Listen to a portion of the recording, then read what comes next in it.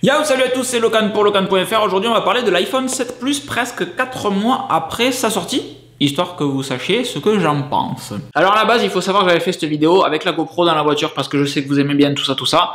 Et j'ai oublié de parler d'un gros problème qu'on m'a fait, qu'on m'a signalé sur Slack il y a pas longtemps. Slack, c'est le principe du contenu premium avec les Patreon, etc. Si vous savez pas du tout de quoi je parle, vous tapez euh, premium peut-être dans le champ de recherche. Et sinon, vous, allez en bas de l'article, tout en bas de l'article, il y a écrit euh, comment euh, soutenir merci. Hop, Patreon, vous cliquez sur Patreon et pour 5 euros par mois, vous avez accès à du contenu privé qui n'est publié nulle part ailleurs, euh, dont des petits podcasts XXL toutes les semaines en live avec les personnes, etc., qui font partie du Patreon. Bref, euh, j'avais oublié de vous parler d'un truc important de l'iPhone 7 Plus dans ma vidéo, donc on l'a refait ici dans le salon avec peut-être un petit peu d'écho, je suis vraiment désolé. Alors, l'iPhone 7 Plus, 4 mois plus tard, euh, quoi dire dessus? Premier truc, et c'est celui que j'avais oublié, on va commencer par là, c'est que l'écran se raye excessivement par rapport à tous les autres iPhones que j'ai eu. Je n'ai jamais rayé un seul iPhone. J'ai eu tous les iPhones depuis le premier. Certaines années, je l'ai même eu deux parce que je voulais changer de couleur, etc. Et, hum, ou que j'avais fait un test en repassant sur Android pour ensuite revenir sur un iPhone. Et c'est la première fois que mon iPhone a une rayure, et la première fois évidemment qu'il en a une belle sur toute la longueur et deux autres petites en bas.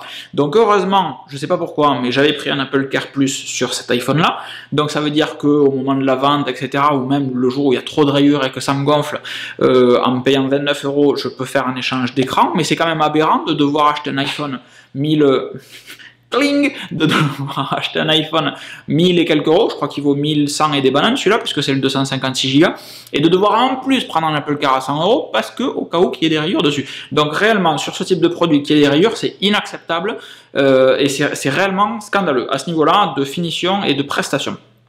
Ensuite, euh, continuons dans la série des trucs que je n'aime pas trop dessus parce que je suis très fan quand même de cet iPhone 7 Plus. C'est le meilleur iPhone qu'il ait jamais eu. Encore une fois, encore heureux.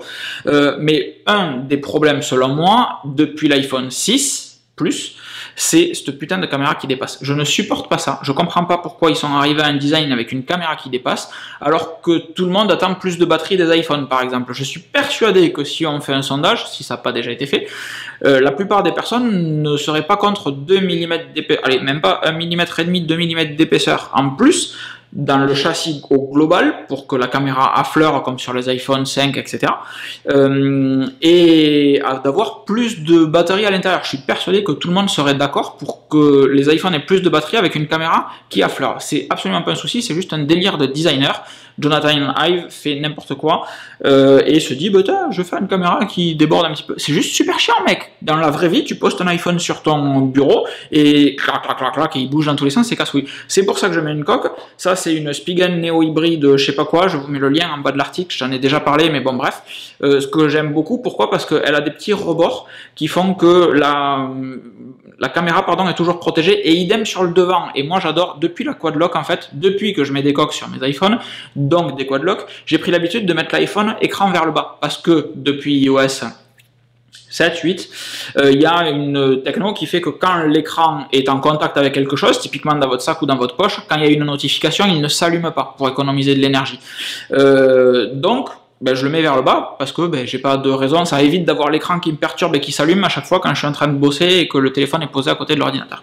Ça, c'est pour les points négatifs. La caméra, l'écran qui se raille énormément. Après, je suis très fan de ce machin. Euh, je suis excessivement fan du bouton euh, haptique là, qui, qui n'est pas un bouton en réalité, qui est juste une pièce de verre et vous avez un retour haptique, etc. Je suis très très fan de ça, c'est super bien.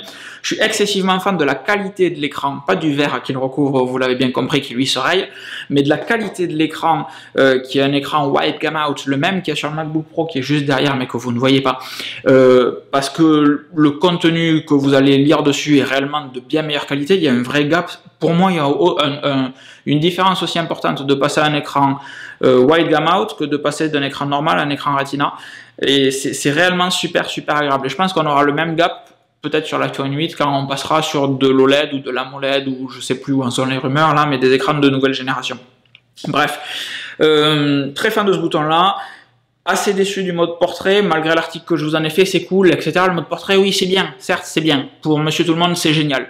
Euh, mais dans la vraie vie, quand tu, as, tu hésites à te traîner un A7R comme celui-là, celui avec lequel je filme, et de prendre une photo avec ton iPhone, ben, des fois tu te dis, eh, le truc qui me fait vraiment prendre beaucoup plus de photos avec l'iPhone qu'avant, réellement, c'est les, live photos. Depuis qu'ils ont sorti ça, j'en suis gaga, j'adore faire des photos avec des live photos parce que ben, il y a l'ambiance de quand vous avez pris la photo qui reste avec votre photo. Et n'est-ce pas là le but d'une photo, de se souvenir du moment? Et là, avec une petite seconde et demie de son et de, de pseudo-vidéo, on est à nouveau dans le moment très rapidement. Donc je suis très fan de prendre des photos à l'iPhone et c'est réellement pour ça que j'espère que les prochaines générations vont réellement remonter, en termes de qualité photo. Quand je vois que le Google Pixel est devant alors que Google a, a pas fait de R&D dessus, ils ont dit hey, on veut le meilleur appareil photo, combien ça coûte? Bam J'aimerais qu'Apple fasse pareil. Euh, donc au rang des déceptions, peut-être la qualité photo qui...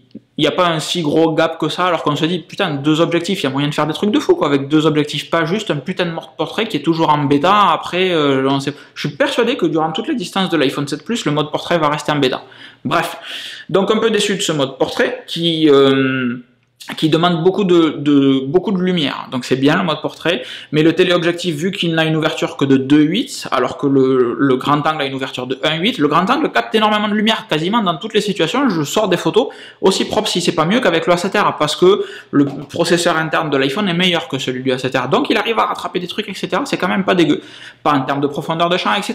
Mais en termes d'exposition, en termes de contraste, etc. Souvent je me dis, mal. Donc c'est pour ça que je shoote l'immense majorité du temps avec mon iPhone. Après, du moment qu'il faut aller euh, shooter avec le, téléobjectif pour faire le mode portrait ou même juste faire un deux fois, non, non, ça justifie pas l'écart de prix, etc. C'est pas vrai. Euh, et le plus gros problème de l'iPhone 7 Plus, comme de tous les iPhones, ça reste iOS 10 selon moi. C'est-à-dire que Apple a sorti. Euh, je me rends compte qu'en fait j'avais fait cette vidéo en me disant je vais faire des cuts, etc. de temps en temps, m'appliquer à faire des pauses histoire que je puisse couper facilement sur Final Cut, machin. J'ai fait un cut, il me semble, au tout début de cette vidéo, et depuis, je parle non-stop, non-stop, comme au début du site. Donc, je suis désolé si c'est chiant. Ne me le dites pas dans les commentaires, puisqu'il n'y a plus de commentaires. Je fais un petit peu ce que je veux. Les blacks et les gold me le diront sur le Slack si réellement c'est chiant. Euh, on fera quelque chose. Euh, ou pas, enfin bref. Euh, du coup, du coup, du coup, le plus gros problème c'est iOS 10, c'est qu'il y a des bugs partout. Enfin, il y a des bugs. On est en, on est en janvier, on est en janvier, putain. iOS 10 est sorti en septembre. Euh, octobre, mais 4 mois plus tard. Donc ça fait 4 mois et on a des bugs toujours débiles. Cherchez un contact dans Spotlight, par exemple, vous pouvez pas éditer le contact. Et vous pouvez pas, quand vous cliquez, vous cherchez Locan Sardari ou papa, maman, ce que vous voulez. Euh, et quand vous allez cliquer sur votre contact, ça va vous ouvrir la fiche contact dans Spotlight. Cool, vous avez accès à certaines informations. Sauf que si vous vouliez euh, avant, le comportement c'était vous avez Spotlight, vous cliquez sur la fiche, puisque Spotlight est là pour faire des recherches. Il est censé vous ouvrir dans l'application native, à savoir téléphone ou contact. Et du coup, ensuite, vous faisiez ce que vous voulez sur votre fiche contact. Vous l'éditiez, vous la modifiez, machin. Là, non, puisque ça vous affiche une version euh, optimisée de la fiche contact pour le champ de recherche. Pour juste lire, du coup, et à, vous pouvez plus agir, vous pouvez plus éditer votre fiche. Vous pouvez juste lire cette fiche et appeler, envoyer un message, etc. C'est cool pour ces cas-là mais il n'y a pas toutes les fonctions. Pourquoi on a enlevé ça? Il est super bien le fonctionnement précédent. Euh, autre chose, euh, les AirPods et l'application musique, ben, il y a des coupures tout le temps, tout le temps. Vous écoutez les AirPods avec l'application YouTube, ça marche bien. Vous écoutez les AirPods avec les vidéos, ça marche bien. Il n'y a aucun souci. Vous faites un appel, pas de coupure, nickel, tout est impeccable. Vous écoutez, vous avez les AirPods dans les oreilles avec l'application musique sur l'iPhone, ça coupe tout le temps. Pourquoi? Il sort 12 bugs. Pourquoi avec l'application musique particulièrement ça chie? Euh, Qu'est-ce qu'il y a d'autre? Qu'est-ce qu'il y a d'autre? Siri moi, mon plus gros problème, et j'en parle, ça fait deux podcasts XXL qu'on fait euh, deux vendredis de suite sur le channel Gold du Slack, et euh, donc pour le contenu premium, blablabla.